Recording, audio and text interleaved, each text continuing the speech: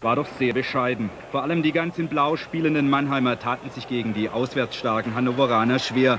Die beste Aktion durch Uwe Weidemann zwei Minuten vor der Pause. Das war's dann schon. Torchancen bei Hannover 96, Fehlanzeige. Die zweite Halbzeit zur Freude der 7500 Zuschauer auf deutlich höherem Niveau. Vor allem Petrenko, für Freiland Spiel gekommen, brachte den ersehnten Schwung ins Mannheimer Angriffsspiel. Wieder Petrenko, Kirsten und Weidemann mit der Riesenchance zur Führung.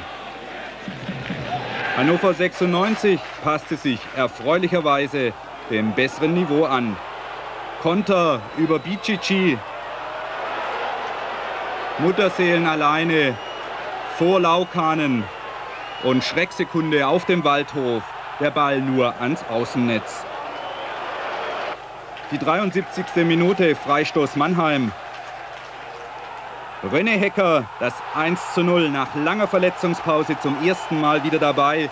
René Hecker mit dem für Mannheim so wichtigen Führungstreffer. Nochmal der Freistoß von Hoffmann und Heckers fünftes Saisontor. 1 zu 0.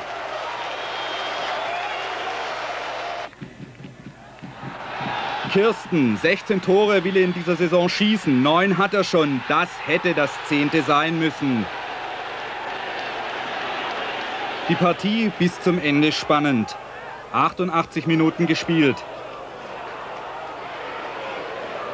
Daschner, Laukanen und der Pfosten. Es blieb beim Knappen, aber verdienten 1 zu 0 für Mannheim.